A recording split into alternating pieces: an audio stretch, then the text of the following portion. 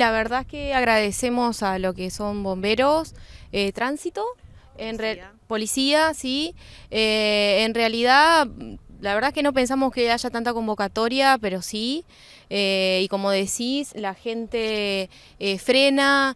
eh, y recién hablábamos un poquito fuera de cámara que mm, no hay mala predisposición, por el contrario, porque todos y todas sufrimos lo que es transitar por esta ruta, ¿no? Diariamente.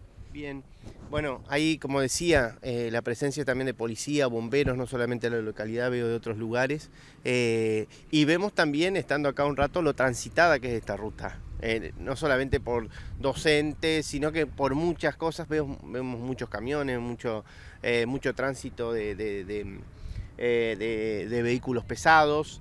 Bueno, vemos mucho. Sí, eh, bueno, hoy es sábado y mucha gente de acá de las comunidades que comprende este tramo aprovechan para, para bueno, por ahí para ir a Basavilbaso, a hacer compras y demás. Vemos un montón de vecinos que cruzan, tal vez a visitar familiares y bueno, y esto pasa todos los días y todos estamos, todos somos afectados por, por el estado de, de este tramo, de la ruta, de la, en realidad eh, las malas condiciones van desde lo que es Villaguay hasta Gualeguaychú, hay gente desde el otro tramo que hace muchos años que están reclamando, estábamos hablando con, uno, con un concejal de Basavilbaso que nos estaba contando de, de, bueno, del reclamo y bueno, nosotros queremos hacer lo mismo eh, por este tramo que es el que nosotros transitamos, pero el pedido, el reclamo para, para en general toda la ruta 20 para poder transitarla de manera segura. Bien. ¿Qué es lo que se busca? Obviamente sabemos, ¿no? Pero ¿cuál es el fin de, de buscar que sea más rápido la obra, que, que llegue una obra más rápido, que le presten atención? Porque los arreglos son momentáneos también lo que pasa, ¿no? Sí, eh, no quiero errar, pero creo que Fleger, que es el, el- el encargado sí, vialidad departamental exactamente, eh, entre ayer y antes de ayer eh, dio una nota. Como digo, no quiero errar, no quiero ser imprecisa, pero manifestó que no, que no hay dinero, eh, manifestó que es una payasada que se tapen los pozos con brosa, pero es la realidad, es lo que está sucediendo, eh, y que van a gestionar. Así que, que sí es lo que se espera, que se gestione desde donde se tiene que gestionar.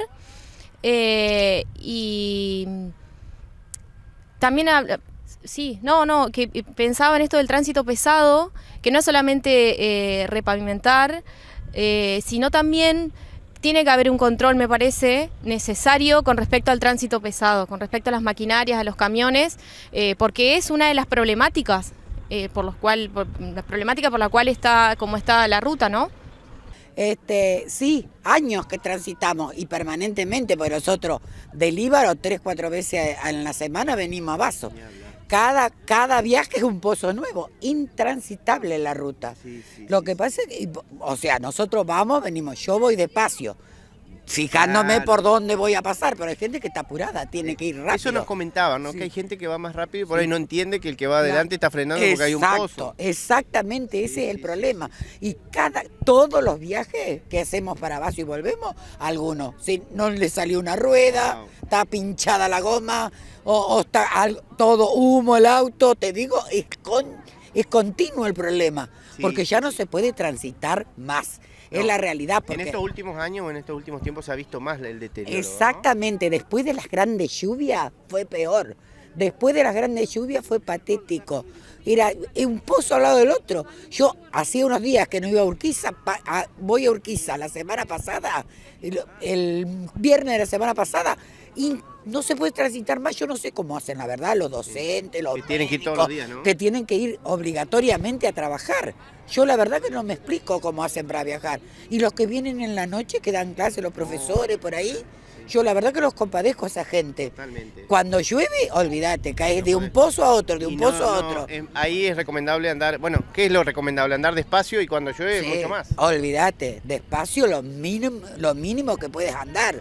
Despacio del todo tampoco, Claro, porque vienen las camionetas o los camiones te llevan puestos, olvídate. Bueno. Porque lo que pasa es que no se ve, cuando hay una niebla, no ves. Claro. O sea que no podés estar frenando en todos los pozos. Te- los pozos los agarrás sí, o sí, no hay Claro, opción no hay ahí. vuelta, No hay vuelta, es verdad. A tener que ir despacio porque si no, como ser yo con mi auto que es pequeño, la rueda calza justo en los pozos. Total. Pierdo la rueda. Ni hablar. Si ni vengo hablar. fuerte, Ya, ya has roto varias veces. Exactamente, ya, ya mis pobres gomas ya no dan más. Olvídate, porque se viven rompiendo. los amortiguadores, todo desastre. Tren delantero, claro, obvio. Desastre, desastre total. Eh, sí, como vecino acá de la zona, soy de Santa Anita, eh, transito prácticamente a diario la, ruta 20. Eh, yendo a trabajar a Las Moscas, a Vaso casi permanentemente, siempre dependemos de Vaso Vaso para todo tipo de trámite y tenemos que salir cada día o mandar a Nuestra Señora, familiares que tienen que transitarla y siempre estamos muy preocupados eh, permanentemente hasta que no regresamos, no, no sabemos cómo vamos a llegar, estamos expuestos a, un riesgo constante debido a, los grandes baches que se han destapado, sobre todo en, los últimos meses.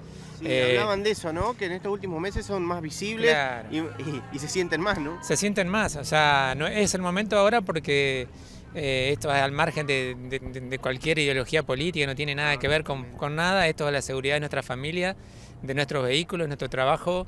Cuesta mucho romper una cubierta y tener que trabajar un mes para cubrir los gastos de una ruptura, y ni hablar de riesgo de vida o peligros más fatales que han pasado y que pueden llegar a pasar cada día. Así que yo creo que es un deber eh, y una, una obligación moral venir a, apoyar y, hacer ver esta problemática, digamos.